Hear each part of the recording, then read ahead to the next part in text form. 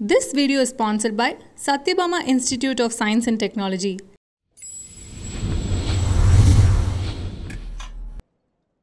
Little talks use அனைவருக்கும் வணக்கம். நான் ஜித்து. ஸோ என் கூட இருக்கிற ஜாயின் பண்ணியிருக்கிற ஸ்பெஷல் பர்சன் பற்றி சொல்லணும் அப்படின்னா ஃப்ரம் தி ஸ்க்ராட்ச் ஆரம்பித்தார் ஸோ இப்போ வரைக்கும் முப்பத்தி ஆறு வருடங்களுக்கும் மேலே இவருடைய சினிமா பயணம் இருந்திருக்கு.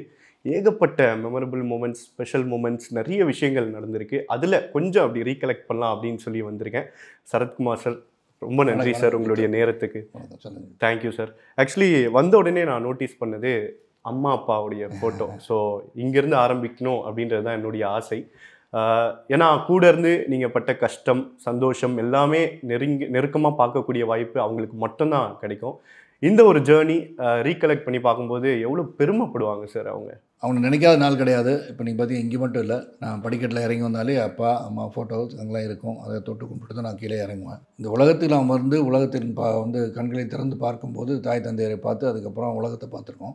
ஆனால் அவங்க தான் வந்து நம்மளுக்கு ஹீரோஸ் அப்படின்னு சொல்லலாம். தே ஒன்லி கிரியேட்டடஸ் அது மட்டும் இல்லாமல் நம்மளை உருவாக்குனது நம்ம நம்மளை வந்து ஒரு நல்ல மனிதனாக உருவாக்கியதுக்கு எல்லாம் பெருமை வந்து தாய் தந்தையர் தான் சேரும்.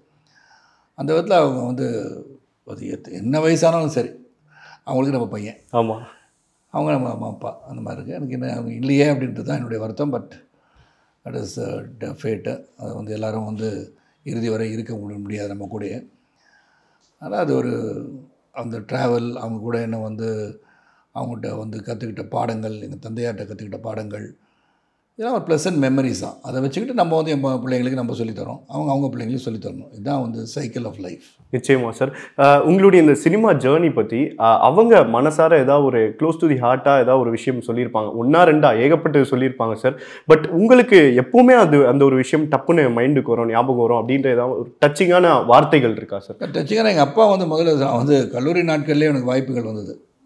அப்போ வந்து ஆனலகன் போட்டியில் வெற்றி பெற்றனால கல்லூரி நாட்கள்லே வாய்ப்பு வரும்போது ஃபஸ்ட்டு நீ டிகிரி முடியும்னு சொன்னார்.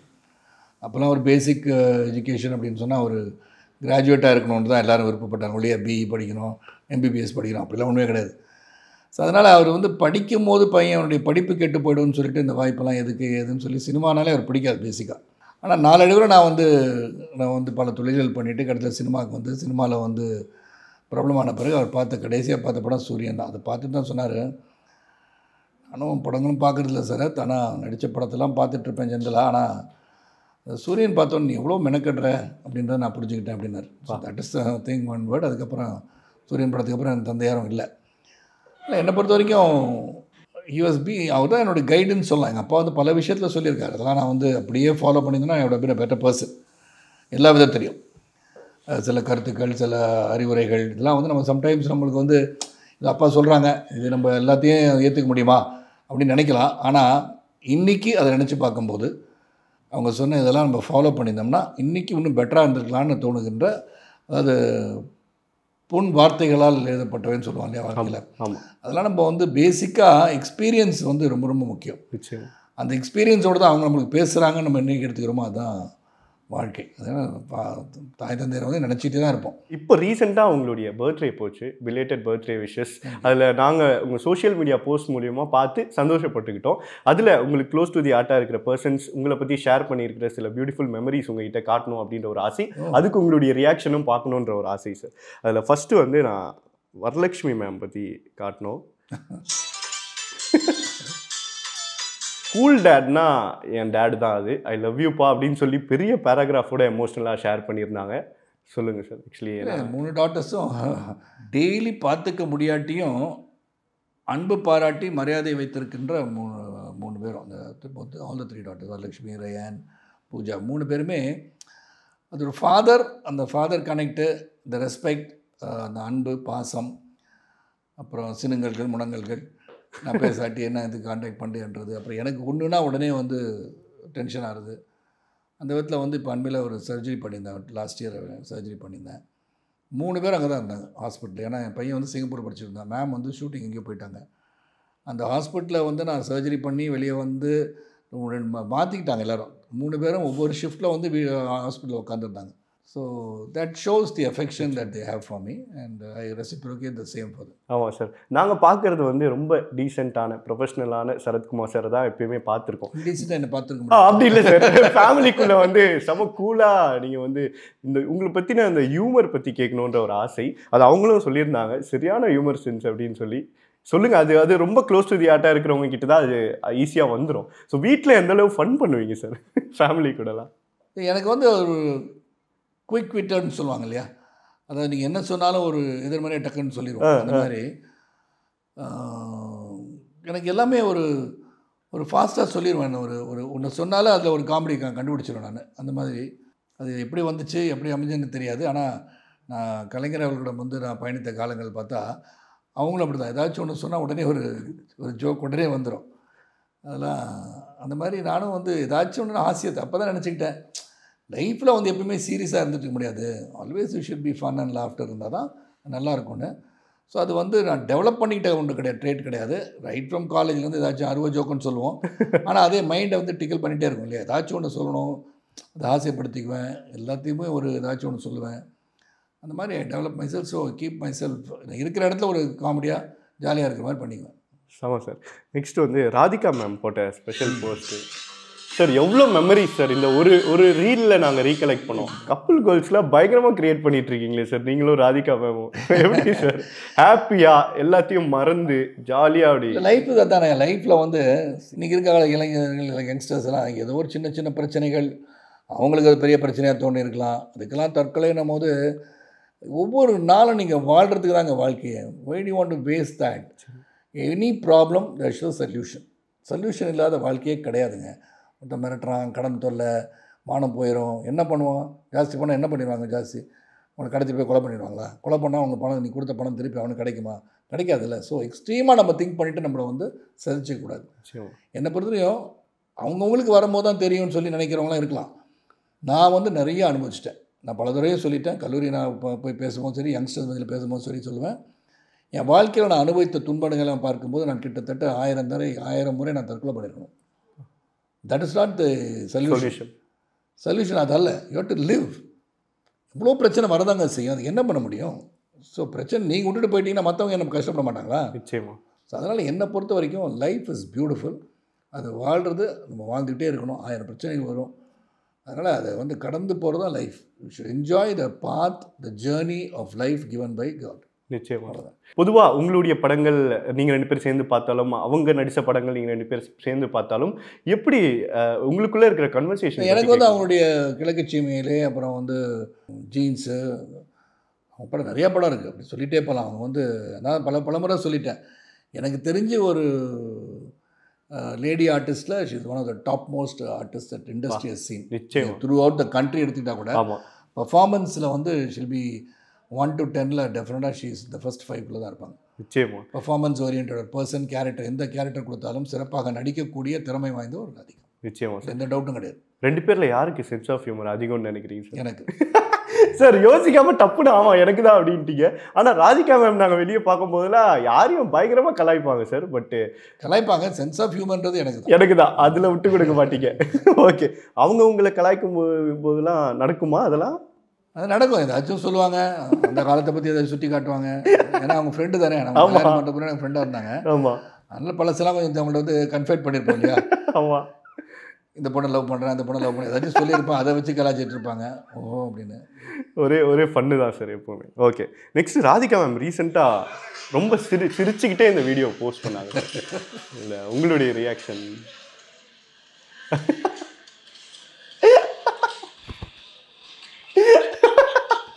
வேற லெவல் சார் வா. சொல்லுங்க சார் அதை வந்து அவங்க சந்திரமுகி பண்ணிட்டு இருக்காங்க மாஸ்டர் டைரக்ஷனில் மைசூரில் அங்கே வடிவேல் ரொம்ப நாளுக்கு அப்புறம் அவங்க பார்த்துருக்காங்க வடிவேல் சுற்றி சுற்றி ஏதோ காமெடி பண்ணிகிட்டே இருக்காருன்னு சொன்னாங்க. அன்றைக்கி நான் வந்து மைசூர் ரெண்டு நாள் போனேன். என் பையனும் போனோம். அப்படி வடிவேலை பார்த்தோம். ரொம்ப நாளுக்கு அப்புறம் பார்த்து ரொம்ப சந்தோஷம் மகிழ்ச்சி. வடிவேல் இஸ் இன்ட்ரெஸ்டிங் கேரக்டர் அதனால் அவர் வந்து ஒரு one of the best comedians industry ever seen ஆனால் நானே அவர்கிட்ட சொன்னேன் நான் டெய்லி நைட்டு பார்த்தீங்கன்னா வடிவேலு என் காம்பினேஷன் இல்லை Vadivelu and Parthiban combination Vadivelu any combination அதை வந்து தான் இப்போ ஜாஸ்தி நான் பார்க்கணுன்னா காமெடி சீன்ஸ் பார்த்துட்டு இருப்பேன். அதுக்கப்புறம் தட் கிவ்ஸ் யூ ஜாலியாக ஓகே அப்படின்னு சொல்லிட்டு போகிறோம் அதனால் அது வந்து அவங்க போட்டது வந்து வைரலாக போயிடுச்சு அது. ஆமாம் சார் நிச்சயமா. ஸோ நெக்ஸ்ட்டு வந்து இப்போ ரீசெண்டாக நீங்கள் எடுத்த இந்த ஸ்னாப் சார் ம். விக்ரம் ஆமா சார். ஆமாம் படம் பார்த்தோன்னே வாங்க டின்னருக்கு வந்துருங்கன்னு சொல்லி கமல் சார் சொன்னாங்க. And I like the film and and டோல்டும் and அது ஒரு ஒரு ஒரு என்ன சொல்கிறது ஒரு காஸ்டிங்லேயே வந்து மிகப்பெரிய காஸ்டிங் கொண்டு வந்து எல்லாரையும் ஒன்றா நடிக்க வைக்க முடியும். அப்புறம் இந்த ஹீரோ வில்லன்ற ஜானரை உடைச்ச படம் வந்து விக்ரம். ஏன்னா எல்லாரும் நீங்கள் ஹீரோவா வில்லனா சார் படத்தில் அப்படின்னு கேட்பாங்க ஹீரோ வில்லன்ற ஜானரே கிடையாது இப்போலாம் ஆடியன்ஸ் வந்து ஒரு கேரக்டரை நல்லா நடிச்சிருக்காங்க. அந்த கொடுக்கப்பட்ட பாத்திரத்தை சிறப்பாக செய்தவன் அந்த படத்தின் கதாநாயகனை ஏற்றுக்கொள்ளப்படுகிறான் அதனால் என்னை பொறுத்த வரைக்கும் பாத்திரம் முக்கியம். அந்த பாத்திரத்தில் நம்ம சிறப்பாக இருக்கிறது முக்கியம். அதனால் விக்ரம் வந்து அது எடுக்க எடுத்துக்காட்டு அண்ட் அதுக்கப்புறம் கூட நான் கமல் சாரோட ஒன்றா விமான பயணம் நடந்துச்சு. துபாய்க்கு நான் போயிட்டு இருந்தேன். சா- சார் அங்கே தான் வந்துட்டு இருந்தாங்க. அப்போ அவருடைய மகிழ்ச்சி ஒரு வெற்றி ஒரு மனிதனுக்கு எப்படி ஒரு உவகையை தருகிறது என்பதை நான் அவரை பார்க்கும்போது என்னால் உணர முடிந்தது. ஏன்னா பல படங்கள் வெற்றி இதோட பெரிய பெரிய படம்லாம் கொடுத்துட்டாரு கமல் சார். இது அல்ல. ஆனால் இதுதான் இப்போ வந்து ஓடுனதுன்னு சொல்கிற மாதிரி இருக்கும்போது கூட அதை ஹம்பிளாக எடுத்துக்கிட்டு yes this is very big hit ஃபார்மின்றதை அவர் உணர்றாரு அது சந்தோஷப்படுறாரு மகிழ்ச்சி அடையாருன்னு சொல்லும்போது சக கலைஞனாக அவர் படுகின்ற சந்தோஷத்தில் நானும் கொஞ்சம் சந்தோஷப்பட்டுக்கிறேன். நிச்சயமா சார். ஒரு இன்ட்ரெஸ்டிங்கான ஒரு விஷயத்தை பற்றி கேட்கணும். இப்போ ரீசெண்டாக பிக் பாஸ் வந்து நீங்கள் உள்ளே போயிருந்தீங்க பிக் பாஸ்க்குள்ளே விசிட் பண்ணியிருந்தீங்க. அவாஸ் தட் ஃபீல் இல்லை அன்றைக்கி வந்து நான் வந்து பரம்பரா வெப் சீரிஸ்க்கான. ப்ரொமோஷனுக்காக போயிருந்தேன் சீசன் ஒன்னுக்கு அப்போ தான் முத முத அங்கே போகிறேன் நான் அந்த பிக் பாஸ் வந்து அன்றைக்கி கூட நான் சொன்னேன் உங்கள்கிட்ட நான் வந்து அதிகமாக பார்க்கறது இல்லை பட் பார்க்க இதை வந்து நீங்கள் அங்கே போய் ப்ரொமோஷன் பண்ணணும் போகணும் அங்கேன்னு சொல்லும் போது நான் தெரிஞ்சுக்கிட்டேன். தெரிஞ்சுட்டு இங்கே போய் ஸ்பான்டேனியஸாக அது என்ன நான் கேட்கணும்னு வச்சோம் அதான் கேட்டேன். இட் வாஸ் நாட் ப்ரிப்பேர்ட் இவங்க யார்? அவங்க பேர்லாம் தெரிஞ்சுக்கிட்டேன். யார் யார் என்ன பண்ணியிருக்காங்க இது வரைக்கும் எப்படி இருந்திருக்காங்க எல்லாம் கேட்டுட்டு அங்கே போனேன். இவங்க வந்து எதுவுமே எனக்கு ஸ்கிரிப்டட் கிடையாது அன்றைக்கி பரம்பராவுக்கு வந்து ப்ரொமோஷன் போனேன். அங்கே போகும்போது அவங்க என்னென்ன கேள்வி கேட்கணுமோ அவங்கள வந்து ஸ்டடி பண்ணதில் வச்சு நான் பேசிகிட்டு இருந்தேன். இது good experience okay sir in case ஃபியூச்சரில் ஹோஸ்ட் பண்ணுற ஆப்பர்ச்சுனிட்டி கிடைச்சா what will be your sir என்னை கூப்பிட்டு பண்ண சொன்னால் சூப்பர் இன்ட்ரெஸ்டிங்காக பண்ண முடியும் அவ்வளோதானே சூப்பர் சார் ஸோ ஸ்பெஷலான ஒரு பிக்சர் சார் ஹாப்பி பிக்சர் அப்படின்னு சொல்லலாம். ஸோ இந்த வாரிசு. ஆமாம் சார் பூஜையில் வந்து விஜய் சாரோட எடுத்தது. ஒரு இன்ட்ரெஸ்டிங் போட நீ கூட ட்வீட்டில் நிறைய பேர் போட்டிருந்தாங்க. என்ன வந்து என்ன சார் அது ரொம்ப இமோஷனலான படம் அப்படின்றாங்களே சார் அதில் ஆக்ஷன் இருக்காதா சா நான் சொன்னேன் எல்லாம் கலந்தது தான் அந்த படம் அப்படின்னு சொன்னேன் நான். So it's very interesting film with emotion family background song Vijay சாருக்கு உரிய ஃபைட்டு சாங்கு இமோஷன் பர்ஃபாமன்ஸு எல்லாம் உள்ள ஒரு சிறந்த படம் அப்படின்னு சொன்னேன். அந்த மாதிரி அங்கே நடிச்சிட்டு இருக்கும்போது the way he prepares himself பார்க்குறோம் இல்லையா? நம்ம நிறைய பேரை பார்த்துட்டோம். விஜய் வந்து ஆக்சுவலாக பார்த்தீங்கன்னா நான் சூரியவம்சம் வந்து நூற்றி எழுபத்தஞ்சாவது நாள் விழாவில் வந்து கலைஞர் அவர்கள் வந்திருந்தாங்க. அப்போ கமலா தியேட்டரில் தான் ஃபங்க்ஷன் நடந்தது. அந்த மேடையில் இத்தனைக்கும் நான் சூரியவம்சம் ஹிட்டு கொடுத்தேன்னா அடுத்த சூப்பர் ஸ்டார் வந்து விஜய் தான் சொல்லியிருந்தேன் நீங்கள் ஓ ஆமாம் சார். நிறைய பேர் கேட்டேன் என்ன சார் நீங்கள் வந்து நீங்கள் வந்து டாப் லெவலில் வந்துட்டீங்க நீங்கள் அடுத்த சூப்பர் ஸ்டார் அவரை சொல்கிறீங்கன்னு என் மனசில் பட்டது சொன்னேன் அப்படின்னு. அப்பா அப்போவே அப்ரூவ்ட் ரைட் இப்போ. பார்த்தீங்கன்னா அண்மையில் வந்து கரண் ஜோஹார் வந்து சமந்தா அண்ட் அக்ஷய்குமாரோடைய இது பார்த்துருக்கேன் காஃபி வித் கரனில். அதில் லிஸ்ட் போட்டாங்க ஆல் இண்டியா லெவலில் பார்த்து லிஸ்ட் போட்டால் நான் யாரை போட்டிருப்பாங்கன்னு எனக்கே டவுட்டில் பார்த்தா number one number one so இனி சில பேர் வந்து என்ன திடீர்னு விஜய் சார் கூட நடிக்கிறனால நம்பர் ஒன் இவரே சொல்கிறான்னு நினச்சிடலாம். But I saw it there in Karan Johar's program so அதனால் I has made molded himself well right from the beginning வேறு ஒரு படங்கள் பண்ணி நிறைய படம் பண்ணி and is created something and ஒரு செட்ஸில் பார்க்கும்போது very quite calm very composed Vijay நான் பார்த்தேன். சார் அப்பத்துலேருந்தே அவரை இவ்வளோ பிடிச்சிருக்கு அப்படின்ற மாதிரி சொன்னீங்க. உங்கள் தாட்ஸ்லாம் சொல்லியிருக்கீங்க அவரை பற்றி பாசிட்டிவாக ஸோ அவர் கூட நடிக்கும்போது எப்படி இருக்குது நீங்கள் எவ்வளோ எக்ஸைட்டடாக காத்துட்டு இருந்தீங்க அவர் கூட அந்த கதை எனக்கு பிடிச்சிருந்துச்சு. அந்த கதைக்கெல்லாம் பிடிச்சிருந்து ஸோ இந்த ஜென்ரேஷனில் வந்து அனைவராலும் ஏற்றுக்கொள்ளப்பட்ட ஒரு நடிகராக இருக்கும்போது அது வந்து மக்கள் எதிர்பார்ப்பும் வரும் இல்லையா? சரத் சார் அவங்க என்ன பண்ணியிருப்பாங்க பல பேர் என் கேரக்டர் என்ன சார் பண்ணுறீங்க கேட்டு சொல்லுங்க. அந்த படத்தை பார்த்து தெரிஞ்சுக்கலாமே. கொஞ்சம் வெயிட் பண்ண வேண்டியதானே அவங்க பொங்கலுக்குள்ளே படம் வந்துடும் அதை பார்த்து அதில் இருக்க இன்ட்ரெஸ்ட் நம்மளே கதையை சொல்லிட்டு இருக்க முடியாதுல்ல? என்னை. பொறுத்த வரைக்கும் it is a very interesting film very emotional எல்லாமே இருக்குது அதில். சில பேர் அவர் கேட்டனால சொன்னது வெறும் குடும்ப பாங்கமான ஒரு படம் சொன்னாங்களே சார்னு. அது யார் சொன்னான்னு தெரியாது. குடும்பம் இருக்கிறது எல்லாமே இருக்குது இட்ஸ் வெரி இன்ட்ரெஸ்டிங் ஃபிலிம் சொன்னேன். ஓகே அவர் சட்டிலாக இருப்பார் அப்படின்னு நாங்கள் கேள்விப்பட்டிருக்கோம் செட்ஸில் பட் நீங்கள் பேசும்போதெல்லாம் செம்மையாக மனசார சிரிச்சுக்கிட்டு இருக்காரு. எந்த மாதிரி ஜோக்ஸ்லாம் கிராக் பண்ணுவீங்க சார் இல்லை இல்லை அது ஜென்ரலாகவே ராஜ் நான் சொல்லிட்டு இருப்பேன் அண்ட் இல்லை ரிலீஷன்ஸ் ஜோக்ஸ் அவரும் சொல்லுவார் நானும் சொல்லுவோம். நம்ம ப கடந்து வந்த பாதையை பற்றி தான் பேசிகிட்டு இருப்போம் வேறு என்ன பேச போகிறோம் ஜாலியாக ஆஹ் அப்படி ஜாலியாக அப்படி அந்த மூடை அப்படி க்ரியேட் பண்ணிவிட்டு அப்புறம் ஷார்ட்டுக்கு வரும்போது we all individual I give space அவன் குவைட்டாக உட்காந்துருந்தாருன்னா I know must be is running through is lines so அதெல்லாம் ஒரு இன்ட்ரெஸ்டிங்காக தான் இருக்குது so very warm feeling working in that Varisu. சம sir thank you for sharing such beautiful thoughts எல்லாமே. ஒரு குட்டி குட்டி உங்கள் லைஃப்பில் நடந்த குட்டி குட்டி இன்சிடென்ட்ஸ்லாம் ஒரு டேர்மாக நான் சொல்லுவேன். டக்கு டக்குன்னு உங்கள் மைண்டுக்கு வரது ஷார்ட் அண்ட் ஸ்வீட்டாக நீங்கள் சொல்லலாம் சார் நான் ரோசாப்பூ படத்தில் பார்த்ததா கூட. அது இன்னும் ரோசாப்பூனா நீங்கள் டக்குன்னு கேட்டிங்கன்னா எனக்கு வந்து ரோசாப்பூ வச்சுட்ட ரோசாப்பூ தான் ஞாபகம் வருது. ஆமாம் ஃபஸ்ட்டு ரோசா புண்ணாலே அந்த சாங் நேருக்கு பிடித்த மலராக இருந்தாலும் ஆனால் நம்ம வந்து ரோசாப்பூ சின்ன ரோசாப்பூ தான் மோர் பாப்புலர்னு நினைக்கிறேன் ஆமாம் சார் ஸோ நெக்ஸ்ட் வந்து சர்ப்ரைஸ் இல்லை சர்ப்ரைஸ் நான் பண்ணுவேன். நான். வந்து நிறைய தடவை பண்ணியிருக்கேன். இப்போ வந்து நான் வந்து ஃபோன் பண்ணுவேன். என்னங்க இப்போ எட்டிக்கு வரீங்கன்னு கேட்டாங்கன்னா நான் ரெண்டு நாள் ஆமா மூணு நாள் ஆமான்னு சொல்லுவேன். பார்த்தீங்கன்னா நீ நைட்டே வந்து இறங்கிடுவேன். அது ஒரு சரியான ஒரு ஹாப்பி ஃபீல் இல்லை சார் அது பண்ணுவேன். அந்த மாதிரி surprise is something very interesting that அது ப்ளசன்ட் சர்ப்ரைஸாக தான் இன்ட்ரெஸ்டிங் ஆமாம் ஷாக்கிங் சர்ப்ரைஸாக தான் கஷ்டமாயிடும் ஆமாம் சார் ஓகே ஸோ நெக்ஸ்ட் வந்து ஸ்கூல் மறக்க முடியாத நாட்கள் அது ஸ்கூலில் அது வந்து அதில் ஸ்கூலில் நடந்த ஒரு ரொம்ப ஹாஸ்யமான ஒன்றுன்னு சொல்லும்போது கிரிக்கெட் மேட்ச் விளையாட போயிருந்தோம். பாரிஸ் கார்னரில் ஒரு மேட்ச்சு அப்போ வந்து தாஜ்மஹால் பிடிஸ் பையன் சலீம் நான் எல்லாம் வந்து ஸ்கூல் வந்து ஜேகே ஒரு கண்டிஷன்லேருந்து தோத்ததுக்கு காரணமே நாங்கள் தான். நானும் ஏதோ மோட்டிவேஷனல் முட்டாள்தனமாக பண்ணமே இன்னைக்கு நினச்சிட்டு இருப்பேன் அது என்ன? They all I'm very good sports person and everybody knew me and school people leader அதெல்லாம் இருந்தும். என்ன சொன்னார் சலீம்? டே ஒரு நாலு மசாலா தோசை நல்லா இருக்கு நல்லா சாப்பிட்லாம் டே அங்கே திரும்பி போகணுண்டா இப்போ வந்து உடனே மேட்ச் திருப்பி ஆரம்பிச்சிருவாங்க. ஃபஸ்ட் இன்னிங்ஸ் முடிய முடிஞ்சிச்சு செகண்ட் நம்ம போகணுன்னா நம்ம ஃபீல்டிங் இருக்குது போகணுன்னா போகலாம் போகலான்னு சொல்லி அவனை கேட்டு அவனால் ஒரு நாலு இட்லி ஜாஸ்தி சாப்பிட்டு நாலு மசால் தோசை சாப்பிட்டு மசால் தோசைக்கு ஆசைப்பட்டு அங்கே போய் மப்பு மந்தார மாதிரி போய் நின்று அந்த மேட்ச்சு வந்து லேட்டாக போய் பெனால்ட்டி லெவலுக்கு போய் பெனால்ட்டிலாம் இது வந்து எப்படி இவ்வளோ லேட்டாக வந்து ஆரம்பிக்க மேட்ச் கிச்சுன்னு சொல்லி கடைசியில் தோத்துட்டு போனோம் நெக்ஸ்ட் டே வந்து அப்பாலஜைஸ் பண்ண வச்சுட்டாங்க. அசம்பிளியில் அப்போ கூட இவன் இந்த சலீம் கொஞ்சம் துடுக்கானவன். I apologise for eating four masala dosa மேற்கொண்டு பிரச்சனை உருவாக்கிட்டாங்க நான் பண்ணது தப்புன்னு சொல்ல வேண்டியதானே இந்த மேட்ச் தோத்ததுக்கு நாங்கள் தான் காரணமாயிட்டோம். கூட சரத்குமார் நான் இழுத்துட்டு போயிட்டு ஏதோ சொல்கிறத விட்டு I am very sorry that I ate more than four masala dosa அப்பா இந்த ஒரு சைடை பார்க்க தான் சரி உள்ள காத்துட்டு இருந்தேன். Thank you for exploring sir so next வந்து காலேஜ் காலேஜ் அது ஒரு இன்ட்ரெஸ்டிங் லைஃப் காலேஜில் வந்து போனேன். காலேஜுக்கு கிளாஸுக்குள்ளே போனேன்னா தெரியாது. நான் காலேஜ் அட்டன் பண்ணுவேன் எல்லாம் பண்ணுவேன். படிக்கிற நேரத்தில் படிப்பேன். எக்ஸாம் எழுதும்போது எழுதி பாஸ் பண்ணுவேன். ஸோ அது சீரியஸாகவே எடுத்துக்கல. செகண்ட் இயர் ஆஃப் காலேஜ் தான் நினச்சேன். ஐயோ நம்ம தேர்ட் இயர் வந்துடும் தேர்ட் இயர் வந்த பிறகு படித்து முடிச்சோன்னு என்ன பண்ண போகிறோம் அப்படின்னும் போது தான் ஃபியரே வந்தது. ஸோ காலேஜில் வந்து ஒரு அவுத்து விட்ட மாதிரி தானே? ஆமாம் சார் நான் ஸ்கூல் வரைக்கும் கொஞ்சம் கிரிப்பாக இருந்திருப்போம். பியூசியில் இன்னும் கொஞ்சம் அப்பா கொஞ்சம் லூஸ் விட்டுருப்பாரு. டிகிரி முடிக்கணும் ஏதாச்சும் ஒரு பேசிக் எஜுகேஷன் வந்து வேணும்னு சொல்லும்போது அதை ஈஸியாக எடுத்துக்கிட்டு பாதி வந்து அந்த நியூ காலேஜில் படித்தேன். பியூசி வந்து லாயலா காலேஜ் நியூ காலேஜில் படித்த பக்கத்தில் சத்யா அந்த பக்கம் சஃபயர் தியேட்டர் அந்த பக்கம் ஆனந்த் தியேட்டரு எல்லாம் அங்கே தான் ஒரேடியாக சுற்றிட்டு இருப்போம் நாங்கள் ஸோ படம் வந்து அங்கே போகிறது போகிறது இதே வேலையாக தான் இருந்தோம். அது interesting but still I played காலேஜில் ஃபுட்பால் விளாண்டுருந்தேன் அண்டு எனக்கு எல்லாருமே தெரியும். ரெஸ்பெக்டட் பர்சன் இந்த மாதிரி இந்த மாதிரி வேலைலாம் பார்த்துட்டு இருப்போம் கொஞ்சம்.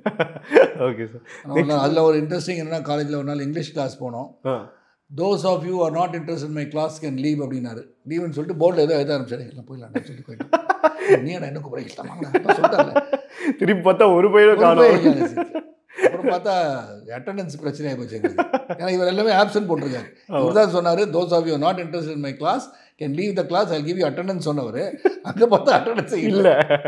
ஓகே ஸோ நெக்ஸ்ட் வந்து ஸ்டேஜ் சார் மேடை. மேடைன்னு சொன்னதும் உங்களுக்கு டக்குன்னு உங்களுக்கு. அதான் வந்து பேஸ் ஃபார் எனி ஆக்டர் ஏன்னா அஹ், என்னதான் நடிச்சிருந்தாலும் அந்த மேடையில் போய் நடிக்கிறது மிகப்பெரிய ஒரு டேலண்ட் வேணும். அது வந்து எனக்கு வந்து வாய்ப்பு கிடைச்சது நான் ஒரு இங்கிலீஷ் ப்ளே ஒன்று பண்ணேன். வெரி இன்ட்ரெஸ்டிங் அண்ட் ஸ்டேஜில் அப்ரிசியேஷன் உடனே பார்க்க முடியும் இல்லையா? உங்கள் நடிப்புக்கு வரவேற்பு உடனடியாக தெரியும். நம்ம ஆடியன்ஸ் வந்து பார்ப்போம். ஜெனரலாக இங்கே பார்த்து கேரக்டர் பேசுவோம். இப்படி ஆடியன்ஸ் பார்க்கும்போது அவங்க ரியாக்ஷனே தெரிஞ்சிடும் with liking it or not liking it நல்லா இல்லாட்டி ஓ எப்படின்னு கத்தாலும் கத்திடுவாங்கல்ல. ஸோ நம்ம சினிமாவில் வந்து தியேட்டர் போனால் தான் ரியாக்ஷன் தெரியும்.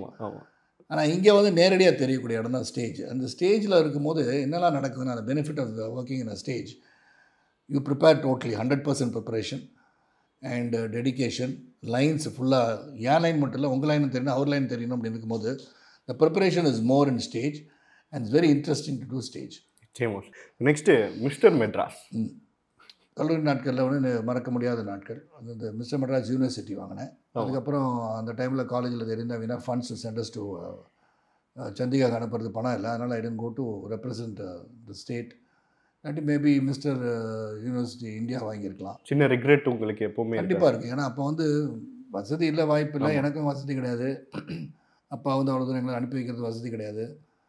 So I missed an opportunity become top அதுக்கப்புறம் பாடி பில்டிங் பெருசாக பண்ணுறதுக்கான வாய்ப்பு இல்லாமல் போச்சு. பட் ஆனால் த்ரூ ஃபிலிம்ஸ் வந்து மனசுடைய எல்லாருடைய ஹார்ட்டில் ஒரு இடம் பிடிச்சிட்டீங்க. அந்தளவு ரொம்ப ரொம்ப ஆடியன்ஸுக்கு வந்து இன்றைக்கும் அவங்க தான் என்ன வாழ வச்சுட்டு இருக்காங்க அதுக்கு நான் இன்றைக்குமே மறக்க முடியாத ஒரு நன்றியை சொல்லிகிட்டே இருக்கோம். நிச்சயமா சார் ஸோ நெக்ஸ்ட் வந்து இன்சல்ட்ஸ் இன்சல்ட்ஸ் அப்படின்னா பல இடங்களில் வந்து அவமானப்பட தானே செய்வோம் வாழ்க்கையில். நிச்சயமா. பல அவமானங்கள் நான் சந்திச்சிருக்கேன். அந்த அவமானங்கள்லாம் அந்த டைமில் சந்திப்பேன் பட் பல்ல கடிச்சிக்குவேன். கசப்பு மருந்தை உண்டு உண்டதாக நினைத்து கொண்டு மறந்துடுவேன் அதுக்கப்புறம். அது எதனால் அந்த இன்சல்ட் நடந்ததுன்னு யோசனை பண்ணி பார்ப்பேன். And it depends on what is insultable என்னை பொறுத்த வரைக்கும் இன்சல்ட்டு நார்மலாக ஏதோ பண்ணாங்கன்றது வேறு. அப்யூஸுன்றதை எடுத்துக்க மாட்டேன். என்னை வந்து எங்கள் அப்பா அம்மா பற்றி அவனை திட்டினானா இன்றைக்கும் அடிச்சிருவேன்னு சொல்லி பல இன்டர்வியூவில் சொல்லிட்டேன். அது மட்டும் தான் எனக்கு. அது தந்தாட்டு ஒரு பெருசாக எதுவுமே எடுத்துக்க மாட்டேன். சார் இதில் நிறைய விஷயங்கள் ஃபேஸ் பண்ணியிருக்கணும். இன்சல்ட் ஒரு பார்ட்டாக இருந்தாலும் பேக் ஸ்டாப்பிங் அப்படின்ற விஷயம்லாம் நடக்கும். அது அது அதுக்கு வந்து ஒரு எண்டே கிடையாது. பட் அதுலேருந்து வெளியே வர்றது நம்ம நம்ம கையில் தான் அது இருக்கு வந்து உங்கள் மென்டல் மேக்கப் தானே? அது வந்து நீங்கள் உங்க அதுக்காக ஏதோ நடந்துடுச்சு அப்படின்னு சொல்லிட்டு என்ன பண்ணி வீட்டில் உட்காந்து படுத்து தூங்கிட்டு இருக்க முடியுமா? நிச்சயமா. Face the world. வைடி அவுட் வரி ஆமாம் உங்கள் வாழ்க்கை நீங்கள் நடந்துடுச்சிங்க தோத்துட்டீங்க அதுக்கு என்ன பண்ண முடியும்?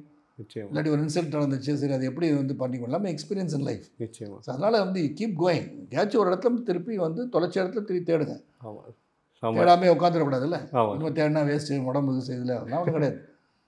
நீங்கள் வந்து any time when you keep yourself fit mentally you'll become health நல்லாயிருக்கும். மென்டல் ஸ்ட்ரென்த் இருந்தால் ஃபிசிக்கல் ஸ்ட்ரென்த் இருக்கும். ரெண்டும் சேர்ந்துடுச்சுன்னா you can achieve anything in life நிச்சயமா சார் ஸோ நெக்ஸ்ட் வந்து லவ் என்னை பற்றி லவ்ன்றது it's not only physical it's also mental you like somebody you confidence somebody அது வந்து ஒரு ஒரு பாசத்தின் வெளிப்பாடு. அது ஒருத்தர் ரெண்டு ரெண்டு உள்ளங்கள் வந்து இணைந்து பேசக்கூடிய அளவுக்கு இருக்காங்கன்றது அடுத்த கட்டத்துக்கு போகிறாங்களா இல்லையான்றது வேறு. ஆனால் அந்த உறவு அது அந்த உறவில் இருக்கிற அந்த லவ் இருக்குல்ல அந்த காதல் அது காதல்னு சொல்லலாம் லவ்னு சொல்லலாம் எஃபெக்ஷன் சொல்லலாம். It's a very beautiful thing to have நிச்சயமா sir thank you sir actually மனசார ஷேர் பண்ணதுக்கு. பெரிய Pazhuvettaraiyar character sixty four scars அதை பற்றி கேட்கணும் சார் சொல்லுங்க. அறுபத்தி நாலு விழுப்புண்கள் பெற்ற மாவீரன் பழுவேட்டராயர். அந்த வாய்ப்பு கொடுத்த க மணிரத்னம் சாருக்கு லைக்கா ப்ரொடக்ஷன் முதல்ல நான் நன்றி சொல்லணும். அது ஒரு என்ன சொல்ல ஒரு பொன்னியின் செல்வன் நடிக்க நடிக்கிறதுக்கு வாய்ப்பு வந்ததே எனக்கு தெரிஞ்சு ஒரு ஃப்யூச்சரிஸ்டிக்காக ஃப்யூச்சர் ஜெனரேஷன்ஸ் வந்து இந்த படத்தை பார்த்து எப்படி வீரபாண்டிய கட்டபொம்மன்னா சிவாஜி சார் நினச்சாங்களோ இதில் நடிச்சிற ஒவ்வொருத்தரையும் பதையை மீண்டும் படிக்கும்போது வந்தியத்தேவன் வரும்போது கார்த்தி மைண்டில் வருவான். அதே மாதிரி அருள்மொழிவர்மன் சொன்னால் ரவி வருவாப்புல. ஆதித்ய க- ஆதித்த கரிகாரன் அப்படின்னு சொன்னால் விக்ரம். விக்ரம் வருவார். நந்தினின்னு சொன்னால் ஐஸ்வர்யா ராய் வருவாங்க. குந்தவைன்னு சொன்னால் த்ரிஷா வருவாங்க. இந்த மாதிரி ஐ திங்க் அது ஒரு மிகப்பெரிய ஒரு படத்தை மணிரத்னம் சார்னால் தான் முடியுன்றது. அவர் காலத்தை கடந்து யா எல்லாரும் முயற்சி எடுத்து ஏதோ ஒரு பல காரணத்தினால் எடுக்க முடியாட்டியும் அதை எடுக்கணும் அப்படின்னு நினச்சி அது சோழ சாம்ராஜ்யம்ன்றது சாதாரண ஒன்று. கடல் கடந்து சென்ற சோழ ராஜ சாம்ராஜ்யம். கடாரம் கண்ட ராஜேந்திர சோழன் சொல்கிறது சாதாரண விஷயம் கிடையாது. மலேசியாவில் கெடா வரைக்கும் போயிருக்காங்க. இந்தோனேஷியா எல்லா பக்கமும் வந்து சோழா டைனஸ்டி கப்பல் வந்து பயணம். கப்பலில் போய் போர் புரிகின்ற முதல் இது வந்து இவங்க தான் ஷிப் பில்டர்ஸ் வணிகம். கடல் கடந்து வணிகம் செஞ்சதெல்லாம் சோழா டைனாஸ்டி தான். ஸோ அதை வந்து ஒரு ஃபிக்ஷனல் சைடில் எடுத்து பண்ணுறதுன்றது அதில் நடிக்கிறதுலே மிக பெருசு. அதுவும் பெரிய பெரிய பெரியவர்களாக இருக்காத வந்து ஒரு சோழா டைனாஸ்டியில் வந்து அந்த சாம்ராஜ்யம் சிறப்பாக இருக்குன்னு நினைக்கிறவர். ராஜா வந்து போகலாம் ஆனால் சோழ நாடு சிறப்பாக இருக்க வேண்டும். சோழ நாடு தான் அவர் முக்கியன்றதை நினச்சிட்டு இருந்தார். ராஜா வந்து போகலாம் பட் சோழ நாட்டுக்காக தியாகம் செய்யக்கூடிய அளவில் இருந்தால் பெரிய பழுவேட்டராயர் கேரக்டர் அந்த பெரிய நல்ல ஒரு மிகப்பெரிய ஒரு முக்கியமான பாத்திரத்தை கொடுத்த மணிரத்னத்துக்கு நன்றி சொல்ல கடமைப்பட்டிருக்கேன். மக்கள் அனைவரும் இதை வந்து தியேட்டரில் போய் பார்த்து இந்த தமிழர் ப- பண்பாடு ப கலாச்சாரம் இதையெல்லாம் முழுமையாக கொண்ட ஒரு சோழ பரம்பரையிலேருந்து ஒரு படம் வருது அப்படின்னா அதை போய் கண்டிப்பாக அவங்க பார்த்து அதை உலகறிய செய்ய வேண்டும் தான் என்னுடைய ஆசை. நிச்சயமா சார் டீசர் பார்க்கும்போது பிரமிப்பா இருந்தது. ஏன்னா அதோடைய மேக்கிங் இப்பா எப்படி எடுத்திருப்பாங்க? அப்படின்னு. ஏன்னா நீங்க சொன்ன மாதிரி ஏகப்பட்ட பேர் ட்ரை பண்ணி பட் அவருடைய அந்த ட்ரீமை ஃபைனலி அவர் வந்து கொண்டு வராரு பெரிய திரையில. ஸோ அப்போ வந்து இந்த ரிஸ்கி ஷாட்ஸ்லாம் எந்த அளவு வந்து எஃபர்ட் போட்டு ஒரு ஒரு ஆர்டிஸ்ட்டும் டெடிக்கேட்டடா பண்ணாங்க? கண்டிப்பாக அதில் வந்து ரிஸ்க் எலிமெண்ட் இருக்க தான் செய்யலாம் குதிரை ஏற்றம் இருக்குது யானை ஏற்றம் இருக்குது இப்போ நீங்கள் பார்த்தா கார்த்தி வந்து வந்தியத்தேவன் கேரக்டர் குதிரையில் பயணித்து கொண்டிருக்கிறவன் வந்து அந்த குதிரையை வந்து தெரிஞ்சுக்கணும். இந்த குதிரையை பற்றி தெரிஞ்சு எப்படி தெரியும் சட்டில் வந்து நம்ம ஓட்டுறது இல்லைல்ல முன்னாடியே அந்த போய் அது வந்து குதிரையை வந்து வாஷ் பண்ணுறது குதிரை கூட நிற்கிறது பழகிறது ரைடிங் போகிறது அப்புறம் கூட வந்து வாஷ் பண்ணி விட்டு ப்ரஷ் பண்ணுறதுக்கு எல்லாம் பண்ணிவிட்டு கார்த்தி இதெல்லாம் பண்ணார். அப்போ. அதுக்கு வந்து மெனக்கட்டிருக்கான் எல்லா கேரக்டர்ஸும் வந்து எந்தெந்த கேரக்டருக்கு என்ன தேவைப்பட்டதோ அதை வந்து சரி எனக்கு உடற்பயிற்சி அறுபத்தாலு விழுப்புண்ணுனா டஃப்பாக இருக்கணும். அதுக்கு தகுந்த மாதிரி என்னை உடலை உயர் உருவாக்கிக்கிட்டேன். ஸோ ஒவ்வொருத்தரும் அதை வந்து கஷ்டப்பட்டிருக்காங்க. அதில் உள்ள எல்லா டெக்னீஷியன் குரு ரவிவர்மன் சும்மா அப்படி கண்ணில் ஒத்திக்கலாம். அந்த மாதிரி ஃப்ரேம் அவர் எடுத்திருக்கிறதெல்லாம். ஸோ எல்லாம் நீங்கள் சீக்கிரமாக செப் செப்டம்பர் முப்பதாம் தேதி வெள்ளித்திரையில் நீங்கள் பார்ப்பீங்க நிச்சயமா சார் ஐஸ்வர்யா ராய் அவர்கள் ரெண்டு கதாபாத்திரத்தில் நடிக்கிறாங்க இல்லையா? ஒன்று வந்து ஒரு வில்லனிக் ஒரு ரோல் இன்னொன்று வந்து நார்மல் கேரக்டர் ஸோ உங்களுக்கு பேரா அதில் ஒன்று பண்ணுறாங்க ஸோ சொல்லுங்கள் அவங்க கூட நடிக்கிற இந்த ஒரு எக்ஸ்பீரியன்ஸ் இல்லை அது வந்து அதான் பெரிய பழுவேற்றாயர் வந்து நந்தியின் அழகில் மயங்கி விட்டவர். ஸோ அந்த காட்சிகள் அதெல்லாம் எடுத்ததெல்லாம் வந்து மணிரத்னம் சார் வந்து இந்த வே இது பியூட்டிஃபுல்லாக எப்படி காமிக்கணும்? அந்த உறவை எப்படி காமிக்கணுன்றது ரொம்ப சிறப்பாக எடுத்திருக்காங்க சொல்ல முடியும். அதை பற்றி அதிகமாக சொல்ல முடியும். வெள்ளித்திரை சார்.